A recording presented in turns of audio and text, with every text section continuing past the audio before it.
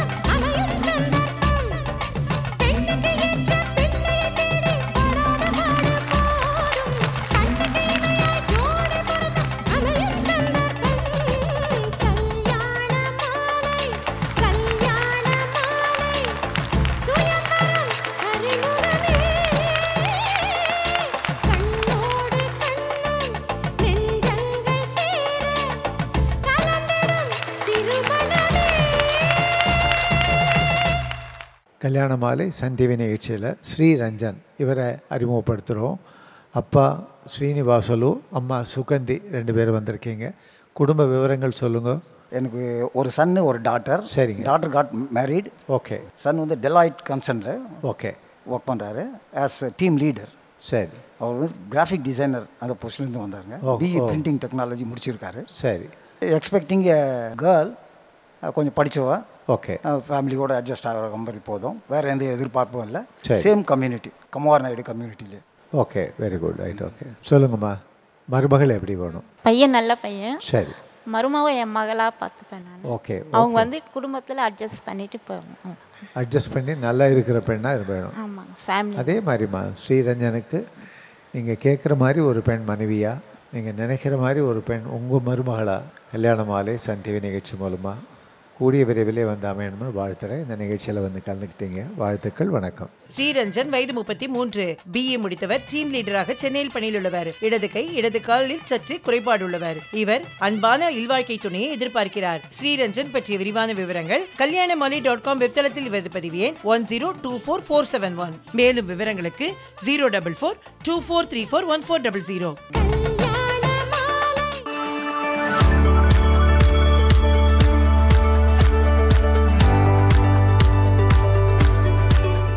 Kalyana Malai நிகழ்ச்சியில் கீர்த்தனா இவங்களை அறிமுகப்படுத்துகிறோம் வயது இருபத்தி எட்டு. கல்யாண மாலை டாட் காமில் இவங்களது பதிவு எண் one zero two five seven nine eight BSc மேலும் எம்பிஏ பண்ணிட்டு சென்னையில் ஹெச்ஆர் எக்ஸிக்யூட்டிவாக ஒர்க் பண்ணிட்டு இருக்கிறாங்க ப்ரொஃபஷனல் டிகிரி முடித்து நிரந்தர வேலையில் இருக்கிற நல்லவர் தனக்கு கணவராக வரணும்னு நினைக்கிறாங்க. கீர்த்தனா நினைக்கிற மாதிரி நல்லவர் அவங்களுக்கு கணவராக உடனடியாக அமையணும்னு கல்யாண மாலை மூலமாக மனப்பூர்வமாக வாழ்த்துறோம். கல்யாண மாலை நிகழ்ச்சியில் நவீன்குமார் இவரை அறிமுகப்படுத்துகிறோம் வயது முப்பத்தி ஆறு கல்யாண மாலை டாட் காமில் இவரது பதிவு எண் one zero two six four six four BTech பண்ணியிருக்கிறாரு சிங்கப்பூரில் மேனேஜராக ஒர்க் பண்ணிட்டு இருக்கிறாரு டிகிரி முடித்த நல்ல பெண் தனக்கு மனைவியாக வரணும்னு விரும்புகிறாரு நவீன்குமார் விரும்புகிற மாதிரி நல்ல பெண் அவருக்கு மனைவியாக உடனடியாக அமைந்திட கல்யாண மாலையில் மனப்பூர்வமான வாழ்த்துக்கள். கல்யாண மாலையின் எக்ஸ்க்ளூசிவ் மேட்ரிமோனி பிரத்யேகமான மற்றும் பாதுகாப்பான சேவை. வரனின் வயது இருபத்தி ஆறு. அசைவம் பிரிவை சேர்ந்த இவர் எம்பிபிஎஸ் முடித்து போஸ்ட் கிராஜுவேஷனுக்கு ப்ரிப்பேர் செய்து கொண்டிருப்பவர். வசதியான குடும்பத்தை சேர்ந்த இவர் அசைவம் பிரிவை சேர்ந்த மருத்துவம் படித்த பெண்ணை எதிர்பார்க்கிறார். மேலும் விவரங்களுக்கு nine three six one seven zero seven four eight four.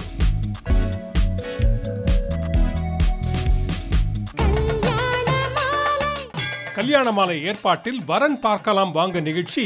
இன்று பள்ளிக்கரணை வேளச்சேரி மெயின் ரோட் ஸ்ரீ கிருஷ்ணா மஹாலில் தொடர்ந்து நவம்பர் பத்தாம் தேதி ஞாயிற்றுக்கிழமை நாமக்கல் திருச்சி மெயின் ரோட் நலா ஹோட்டலில். வந்து பதிவு செய்யுங்கள். உங்கள் சமூகத்து வரன் தேடுவோரை சந்தித்து உங்கள் வீட்டு திருமணத்தை விரைவாகவும் எளிதாகவும் முடிவு செய்யுங்கள். மேலும் விவரங்களுக்கு nine eight four zero eight nine one three double zero அல்லது nine eight four zero eight nine one five double zero. போத்தீஸில் Samudrika பட்டு. சர்வ லட்சணங்கள் நிறைந்த காஞ்சிப்பட்டு கல்யாண மாலின் இருபத்தி ஐந்தாம் ஆண்டு சிறப்பு பேச்சரங்கம் வாழ்வாங்கு வாழ பேச வருகிறார் நீதியரசர் வி. ராமசுப்பிரமணியன் வாழ்வாங்கு வாழ வையத்துள் வாழ்வாங்கு வாழ்வான் வானுரையும் தெய்வத்துள் வைக்கப்படும் என்று வள்ளுவன் சொன்னான். இப்போ வாழ்தல் வாழ்வாங்கு வாழ்தல் வையத்துள் வாழ்வாங்கு வாழ்தல். இந்த மூன்றும் என்ன என்கிற புரிதல் நமக்கு இருக்கிறதா என்று நாம் எண்ணி பார்க்க வேண்டும். வாழ்தல் என்பதை பற்றிய புரிதல் இன்றைக்கு மக்களுக்கு இருக்கிறதா என்று எண்ணி பாருங்கள். நீங்கள் யாரையாவது பார்த்து எப்படி இருக்கிறாய் என்று கேட்டால் ஒரு சில பேர் நான் நல்லா இருக்கிறேன் என்று சொல்லுகிறார்கள். இன்னும் சில பேர் நான் ஏதோ இருக்கிறேன் என்கிறார்கள். இன்னும் சில பேர் நன்றாக இருந்தால் கூட இவங்கிட்ட அதை சொன்னால் இனிமேல் நன்றாக இல்லாமல் போய்விடுமோ என்று பயந்து கொண்டு ஏதோ இருக்கிறேன் என்கிறார்கள். கண்ணதாசன் ரொம்ப அற்புதமாக சொன்னான் கடவுள் ஒரு நாள் உலகை காண தனியே வந்தாராம் கண்ணில் கண்ட மனிதரை எல்லாம் நலமா என்றாராம் ஒரு மனிதன் வாழ்வை இனிமை என்றான் ஒரு மனிதன் அதுவே கொடுமை என்றான் படைத்தவனோ உடனே சிரித்து விட்டான். அப்போ கடவுள் சொன்னான் ஒருவனுக்கு ஏன் வாழ்க்கை இனிக்கிறது? ஒருவன் வாழ்க்கையை ஏன் கொடுமை என்று நினைக்கிறான்? என்று எண்ணி பார்த்தால் கடவுள் சொன்னான் கள்ளம் இல்லா பிள்ளை உள்ளம் நான் தந்தது.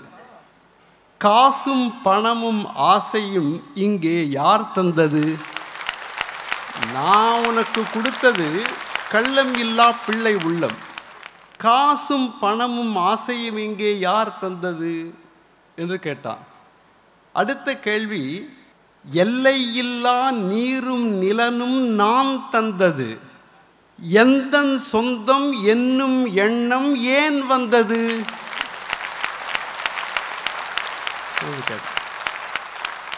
இந்த எல்லையில்லா நீரையும் நிலத்தையும் நான் கொடுத்தேன். அது எந்த சொந்தம் என்கிற எண்ணத்தை இந்த மனிதனுக்கு யார் கொடுத்தார்கள்? இப்போ இந்த வாழ்க்கையை பற்றி பல பேருக்கு புரிதல். நான் நினைத்து பார்ப்பேன் இங்கே நிறைய பெண்கள் இருக்கிறீர்கள்.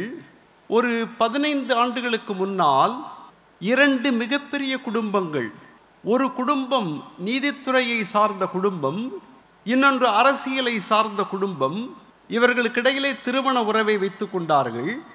இரண்டாவது குழந்தை பிறந்த பிறகு வெளிநாட்டிலே போய் படித்து முதுகலை பட்டம் பெற்ற அந்த பெண் இப்பொழுதெல்லாம் இது போஸ்ட்மார்ட்டம் டிப்ரெஷன் என்கிறார்கள். குழந்தை பிறந்த பிறகு வருகிற டிப்ரெஷன் என்கிறார்கள். அதில் அந்த பெண் தற்கொலை செய்து கொண்டாள்.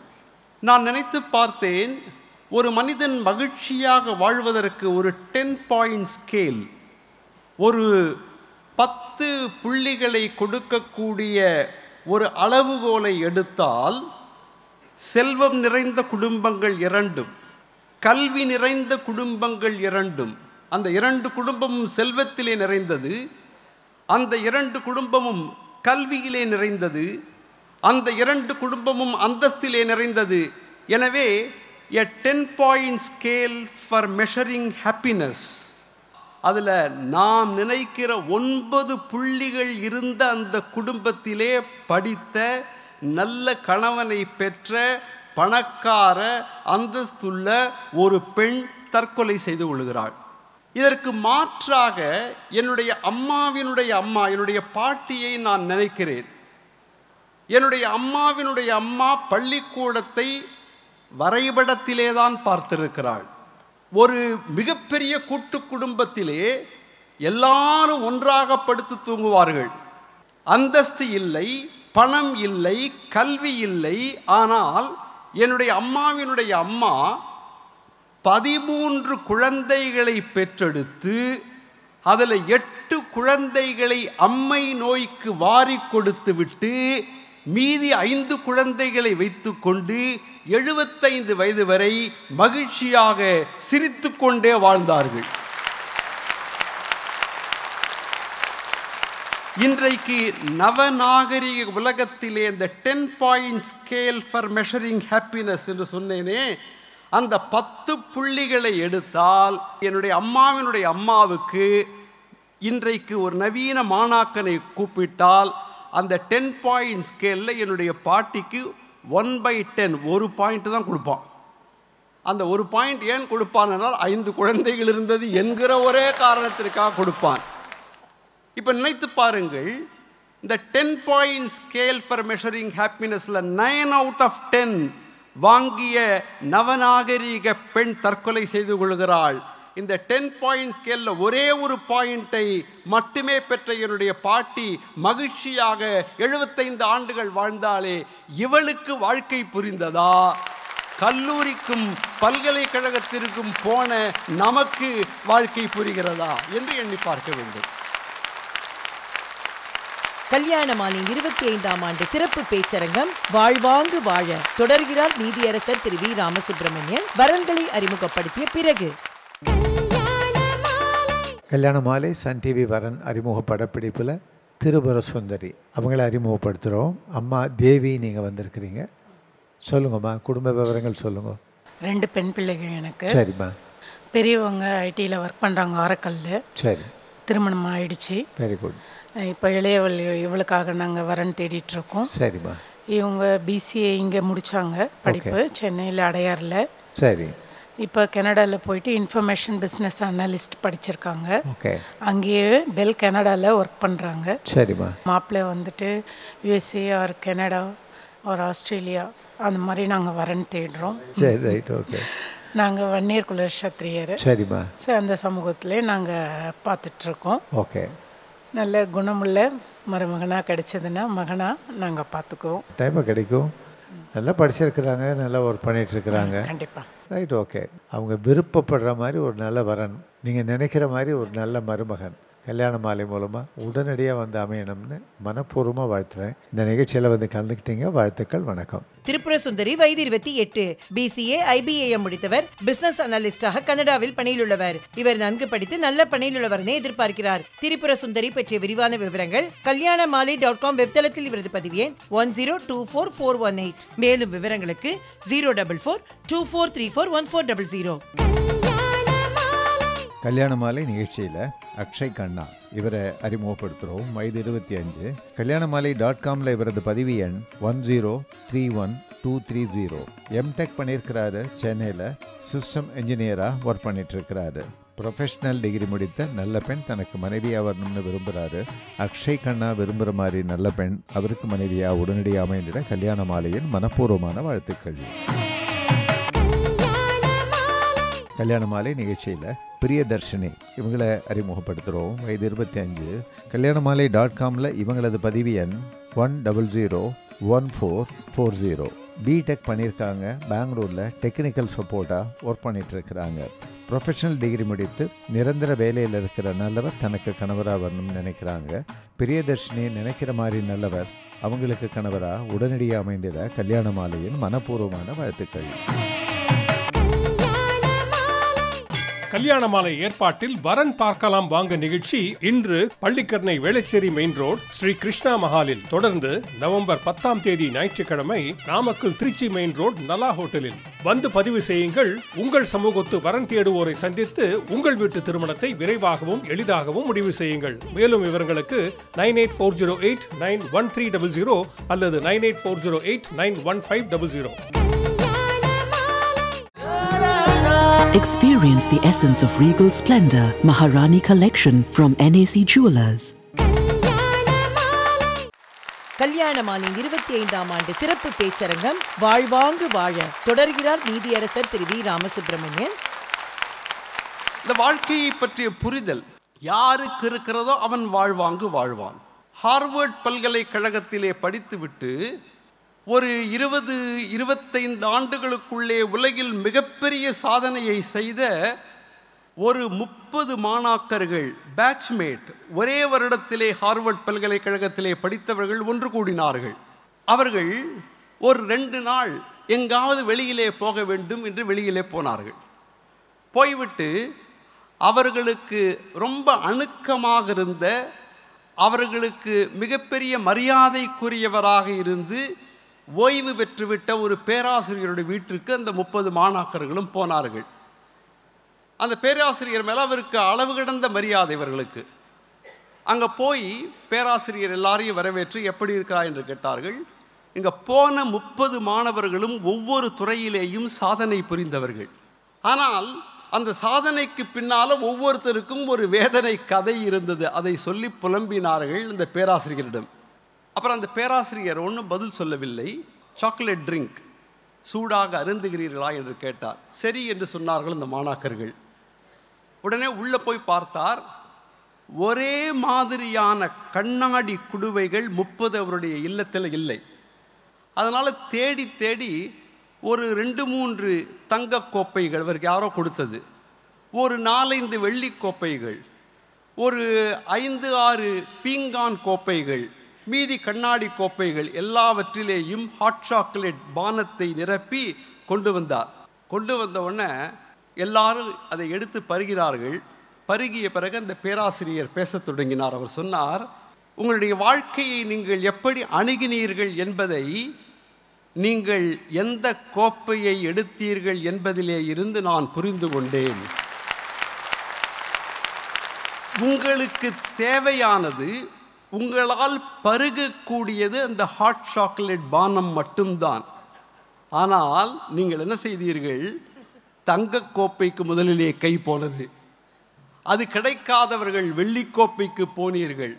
அதுவும் கிடைக்காதவர்கள் ரொம்ப அற்புதமான வேலைப்பாடுகள் அமைந்த பீங்கான் கோப்பைக்கு போனீர்கள். அதுவும் கிடைக்காதவர்கள் தான் கண்ணாடி கோப்பைக்கு வந்தீர்கள். உங்களுடைய வாழ்க்கையை இட்டு நிரப்பக்கூடிய அந்த ஹாட் சாக்லேட் பானத்தை விட அது வைத்திருக்கிற குடுவை உங்களுக்கு முக்கியமாகப்பட்ட காரணத்தினாலே தான் உங்களுடைய வாழ்க்கையில் இந்த வேதனை வந்தது என்று அவர் சொன்னார். இப்போ ஒரு நல்ல வாழ்க்கைக்கு என்ன தேவை? கொஞ்சம் பணம் தேவை. குடும்பம் வேண்டும். ஆரோக்கியம் வேண்டும். ஆயுள் வேண்டும். ஆனால் இந்த இறைவன் என்ன செய்கிறான்? இறைவன் வந்து ஒரு மிகப்பெரிய கணக்காளன் ஒரு மிகப்பெரிய சார்ட்டர்ட் அக்கௌண்டன்ட் அந்த கணக்காளன் எப்படி வேலை செய்கிறான் என்றால் என்னுடைய நண்பர் ஒருவர் ரொம்ப அற்புதமாக சொன்னார். அவர் மிகப்பெரிய பணக்காரர் மிகப்பெரிய அந்தஸ்து மிகப்பெரிய படிப்பாளி. அவருடைய மகன் இறந்து போனான். அவர் சொன்னார் ராமசுப்ரமணியம் இறைவன் ஐந்து சப்ஜெக்டில் நாலு சப்ஜெக்டில் நூற்றுக்கு தொண்ணூறு மார்க் போட்டான். ஒரே சப்ஜெக்டில் நூற்றுக்கு சைபர் மார்க் போட்டான் நான் அப்போ ஃபெயில் தானே என்று கேட்டார். அதை விட அவர் சொன்னார் இறைவன் யாருக்கு ஐந்து சப்ஜெக்ட்லேயும் நூற்றுக்கு முப்பத்தைந்து போடுகிறானோ அவன் பாஸ் இது என்ன கணக்கு? குடும்பம் முப்பத்தஞ்சு மார்க் பணம் முப்பத்தஞ்சு மார்க் கல்வி முப்பத்தஞ்சு மார்க் அந்தஸ்து முப்பத்தஞ்சு மார்க் அவன் பாஸ் அந்தஸ்து நூற்றுக்கு தொண்ணூறு குடும்பம் நூற்றுக்கு தொண்ணூறு பணம் நூற்றுக்கு தொண்ணூறு ஆரோக்கியம் நூற்றுக்கு ஜீரோ இவன் ஃபெயில் அப்போ இது எப்படிப்பட்ட கணக்கு? நான் பல பேரை எச்சரிப்பேன் அளவுக்கு அதிகமாக பணம் வருகிறது என்றால் அச்சப்படுங்கள். ஏன் அச்சப்பட வேண்டும் தெரியுமா? நான் நினைத்து பார்ப்பேன் கற்பனையிலே அளவுக்கு அதிகமாக பணம் வந்து ஒருவனுடைய வீட்டு கதவை தட்டியது என்றால் கதவை திறப்பதற்கு முன்னால் நீங்கள் கேளுங்கள். நீ சும்மா உள்ளே வரப்போகிறாயா? அல்லது ஏதாவது விலையை கேட்கப் போகிறாயா? என்று கேளுங்கள். உடனே அந்த செல்வம் என்ன சொல்லும் தெரியுமா? அளவு கடந்த செல்வம் என்ன சொல்லும் தெரியுமா? ஒரு விலை இல்லாமல் நான் உள்ளே வரமாட்டேன். ஒன்று உன்னுடைய ஆரோக்கியத்தை வெளியே அனுப்பு. அல்லது உன்னுடைய மகிழ்ச்சியான குடும்பத்தை வெளியே அனுப்பு. அல்லது குறைந்தபட்சம் உன்னுடைய நல்ல ஒழுக்கத்தையாவது வெளியே அனுப்பு. என்று கேட்கும். அதனால் அச்சப்பட வேண்டும். இன்னொன்று வாழ்க்கைக்கான ரொம்ப அற்புதமான தியரி என்ன தெரியுமா? உங்களுக்கு மிகப்பெரிய நல்லது ஏதோ ஒன்று நடந்தது என்று சொன்னால் பயப்படுங்கள். ஏனால் பின்னால் வருவதற்கான எச்சரிக்கை என்று அதை எடுத்துக்கொள்ளுங்கள் இன்னொன்று மிகப்பெரிய சோகம் உங்கள் வாழ்க்கையை தாக்குகிறதா? உடனே பின்னால் மிகப்பெரிய நல்லது ஒன்று நடக்கப் போகிறது என்பதை நீங்கள் உணர்ந்து கொள்ளுங்கள். இந்த உணர்வு இருக்கிறதே இந்த உணர்வு தான் ஒருவனுக்கு வாழ்க்கையை பற்றிய புரிதலை ரொம்ப அற்புதமாக கொடுக்கும். அந்த புரிதல் யாருக்கு இருக்கிறதோ அவன் வையத்துள் வாழ்வாங்கு வாழக்கூடிய வாய்ப்பு வாய்க்கிறது என்பதை புரிந்து கொள்ள வேண்டும் என்று கூறி இந்த அளவிலே என்னுடைய உரையை நிறைவு செய்கிறேன். நன்றி வணக்கம்.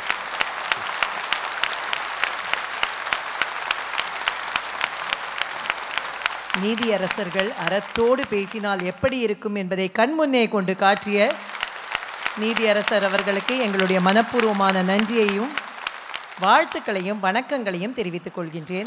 என்ன ஒரு பேச்சு? கல்யாணமாலின் இருபத்தி ஐந்தாம் ஆண்டு வாழ்வாங்கு வாழ சிறப்பு பேச்சரங்கில் ஈத்துவக்கும் இன்பம் பேச வருகிறார் கலைமாமணி முனைவர் கு. ஞான சம்பந்தன் அடுத்த வாரம். யாரையாவது வீட்டுக்கு கூட்டு போகிறோம் மனைவியை நிமிந்து பார்க்குறோம். அப்படின்னா என்ன அர்த்தம்? இவர் காப்பி கொண்டுவான்னு அர்த்தம். பதிலுக்கு அந்த அம்மா முறைச்சி பார்க்குது. அப்படின்னா என்ன அர்த்தம்? அவனையும் கூப்பிட்டு வெளியே போய் காப்பி குடின்னு அர்த்தம். நம்ம உடனே சட்டையை போட்டுக்கிட்டு இந்த முக்கு கடையில் ஒரு டீ போடுவான் பாருங்க. அப்படியே தேவாமிர்தமாக இருக்கும். அவன் நல்ல சிரிப்பான் அப்படியே. அவன் எத்தனை பேருக்கு தேவாமிர்தம் வாங்கி கொடுத்துருக்கான்? நமக்கு தெரியாதா?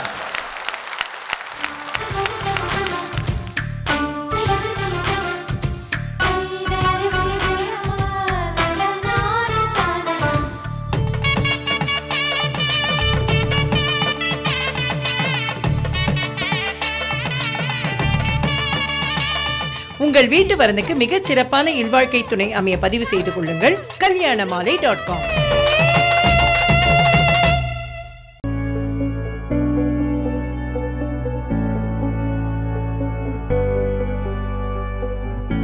டாக்டர் அகர்வால்ஸ்ல வலி இல்லாத தையல் இல்லாத சர்ஜரி பண்றதோட அதே நாள்ல டிஸ்சார்ஜ் ஆக முடியும். டாக்டர் அகர்வால்ஸ் ஐ ஹாஸ்பிட்டலுக்கு வாங்க. வித்தியாசத்தை நீங்களே பாருங்க. முப்பத்தி ஆறு வருட அனுபவம் இருபத்தி மூன்று கிளைகள் கொண்ட சிறந்த சுற்றுலா நிறுவனம் மதுரை ஸ்ரீமுருகன் டிராவல் ஏஜென்சி